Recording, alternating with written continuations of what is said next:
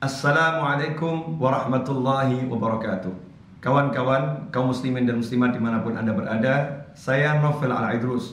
Pada episode kali ini kita akan belajar obat bagi 99 macam penyakit. Bayangkan, siapa yang di tubuhnya punya 99 macam penyakit?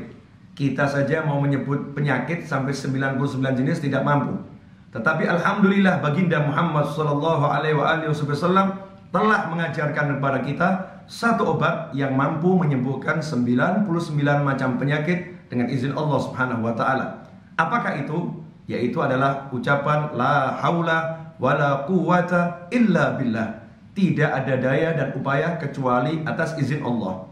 Atau bahasa bebasnya, kalau kita mengucapkan kalimat tersebut, berarti kita berikrar dalam hati, Ya Allah, saya tidak mampu apa-apa, saya tidak bisa apa-apa, dan tidak ada seorang pun yang bisa melakukan apa-apa kecuali atas izin dan pertolonganmu.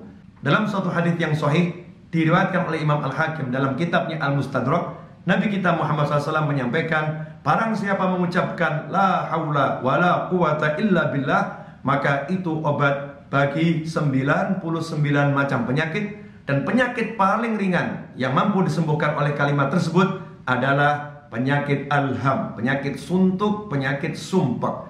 Ikhwani rahimakumullah. Kita tahu sumpek ini bukan penyakit yang kecil, penyakit yang besar. Orang yang punya harta kalau sumpek gak ada manfaat tuh hartanya. Orang yang sehat kalau suntuk gak ada manfaat kesehatannya. Orang yang makan enak, makanan itu jadi gak enak kalau dia lagi suntuk.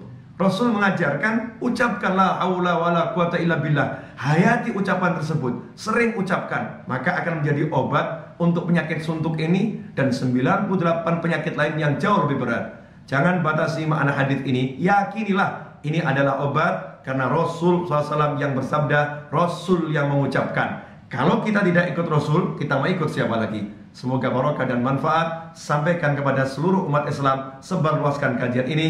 Semoga Allah memberikan barokah untuk semuanya. Wassalamualaikum warahmatullahi wabarakatuh.